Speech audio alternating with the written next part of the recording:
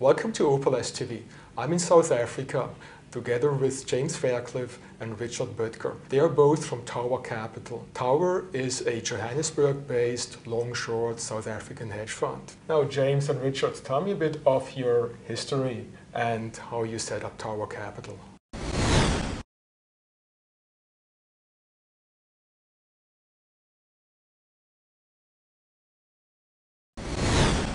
Okay, so Richard and myself both started our professional careers in private equity. We started investing together since 2001 and formulated our current company in 2008.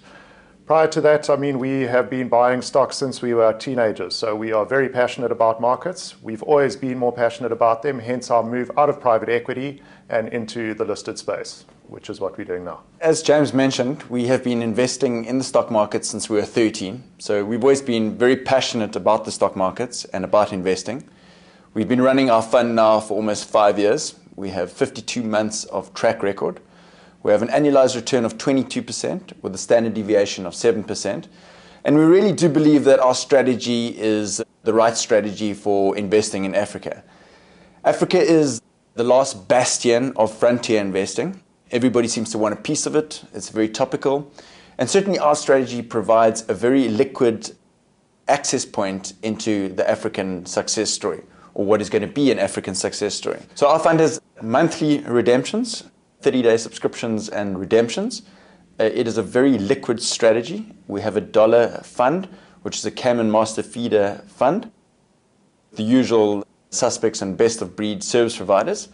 And we have the ability to be long liquid mid-market companies. And obviously for the downside protection, given that we are an equity long short fund, we are short the very high beta um, big market capitalization stocks. I would just like to elaborate on the point that Richard mentioned about the low beta stocks that we have in our portfolio. We do specialize in this space, and we have actually done a study on the low beta versus high beta performance against the indices over the long term. It stemmed out of a US-based paper we found about a year ago where they had studied global markets and the US markets. We then brought the same methodology onto the South African stock market and regressed for 10 years the lower beta quartile versus the higher beta quartile, and we found the same result. So we feel that strategically this gives us a long-term advantage by being long the lower beta stocks and typically short the higher beta stocks. Tell us more about how you construct your portfolios.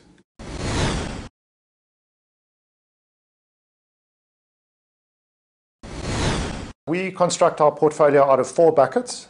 Given our private equity background, the, most of the work that we do is fundamental based work. So we have fundamental long and fundamental short buckets. Then we have two trading related buckets. One is opportunistic and the other one is short hedge. So as I mentioned, most of the work we do do is in the fundamental space. This is this talks to the low beta stocks that we invest in. These are names we like. We invest in them for the long run, and we are quite active in trading those names. So exposure levels do range from maybe 12, 13% down to 5 or 6% over a month or two, depending on price action. Then if we look at the opportunistic bucket, typically these are stocks that we don't see fundamental opportunities, either from a long or a short side, but we don't want to exclude that portion of the market from our opportunity set.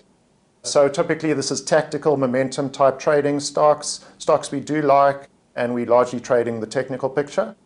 And then the short hedge bucket is largely to protect the overall portfolio. So that is exactly where the high beta shorts fit in. And if we look at our style, we are very much a concentrated portfolio. So typically the top five stocks constitute between 40 and 50% exposure. This is very much the way we believe if we do work on a company and we have high conviction in our hypothesis, then we do back ourselves. And typically these positions can start at 10% at cost we can let them run up to 15, 16%. We have an individual stock limit of 20%. We have reached that close to that uh, size a few times. But typically, our, our high conviction long trades range from 10 to 15%. Our strategy is very much thematic, and we, as James mentioned, are mid market specialists. What do those themes mean? Well, the African consumer theme is a very big theme at the moment. And as a result, and given that we are a concentrated fund, the themes can actually have quite a big portion of exposure in a particular theme. So how do we how do we risk manage and how do we mitigate against certain risks given that we are a very high concentration thematic fund? Well, we are acutely aware of exactly what's happening in every single position in terms of liquidity perspective as well as the fundamental research that James mentioned. Our theme that we're spending a lot of time at the moment is the Africa consumer theme. This does bring a big concentration and sector concentration risk. And obviously, on a, on a daily and weekly basis, we're analyzing every single aspect of the portfolio, understanding where the risk, what's happening, what's changing, and acting accordingly. You mentioned the African consumer story. Mm. Tell us more in particular, how are you getting exposure? How do you benefit from the African, from the pan African consumer story?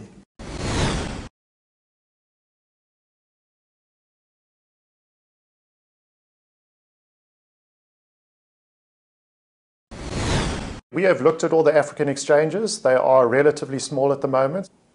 So our strategy, our style is to go through the JSE. On uh, obviously, you get nice liquidity with these companies, and we look for those companies with good growth strategies into the African continent. Typically, these industries have ranged from packaging to logistics. We recently are looking at the hotel sector, especially related to the business traveler, less so to the leisure side. And then obviously the banking sector, financial services into those markets are, are very under, under tapped at the moment. And there are a lot of our companies, especially given that the South African economy is sluggish at the moment. We're looking at 2% GDP growth. These teams are now looking north of South Africa to get some growth, and, and we agree with them. That is the best place to be at the moment. So, I mean, it's full of risks. It's, it's certainly not easy. A lot of companies have ventured off there in the past decade and haven't succeeded. So we really try and understand, we like the management teams that are cautious on it. You know, it's a great theme, it's a great story to sell, but you've got to be very careful on how you allocate capital into those regions. It's very important that we understand which of these companies actually have a credible African strategy. It's exciting to see the degree of operating leverage.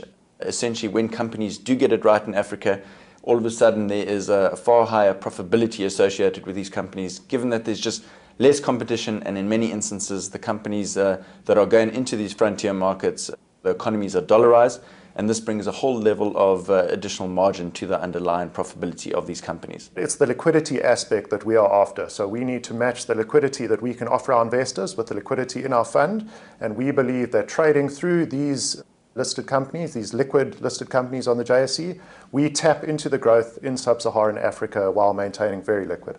Now, you already mentioned it investing in Africa, investing in South Africa does come with certain risks. How do you manage the risks in your fund?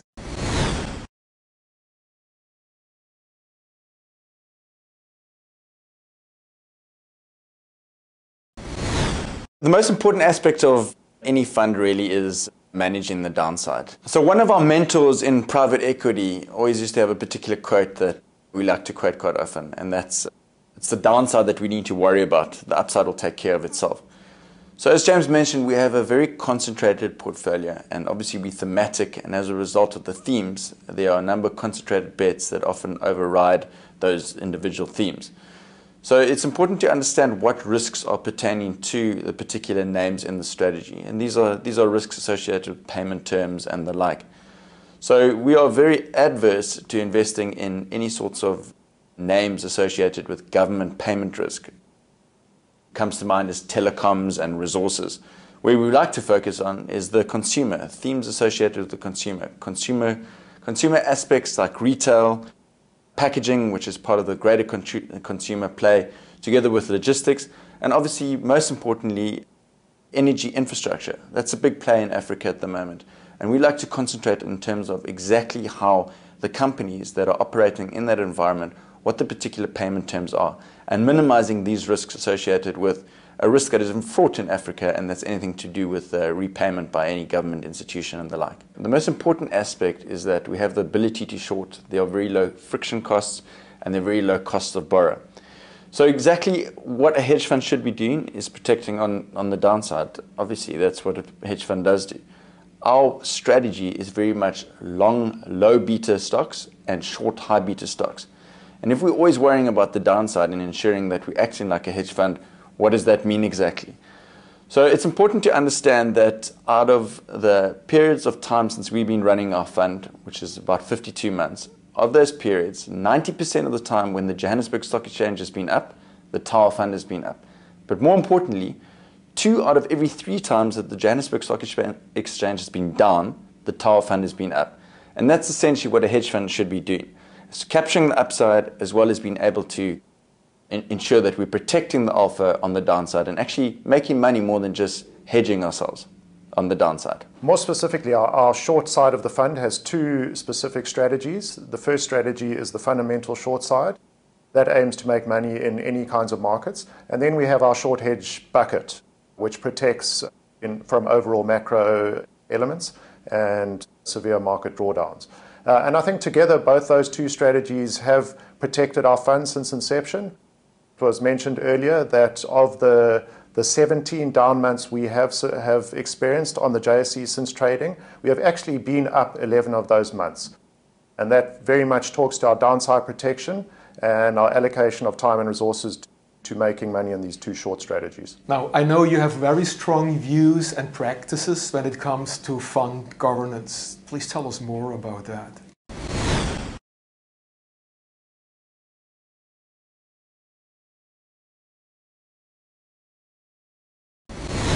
When we started the fund, James and I put the first seed capital in, and as such, we were 100% of the fund at that stage. We now have assets and strategy over $100 million. We have a team of 11 members, including James and myself, and every single team member is an investor in the fund. What does that mean? Well, sadly, for anybody coming through the door, nobody is allowed to have any personal accounts anymore. If you want to have any exposure, and we encourage that highly, you have to invest in the fund on exactly the same terms as all investors. We see everything as a partnership. We partner up with our investors for the long term, and we have exactly the same fee structure as all the investors in the fund. So you operate an onshore South African fund, but you also have an offshore version where offshore investors can participate. Tell us more about your offshore and your onshore fund. In July 2012, we set up our dollar class. It's a Cayman master fund with a, Delaware feeder fund for the American investors. Both the RAND fund and the dollar, dollar fund are run on exactly the same manner. The only difference being the drag given the, the currency hedge. So we hedge 100% of the currency out for our investors.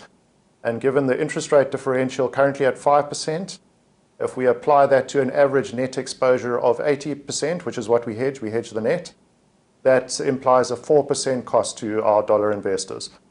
The local fund service providers are Peregrine, KPMG, and IDS.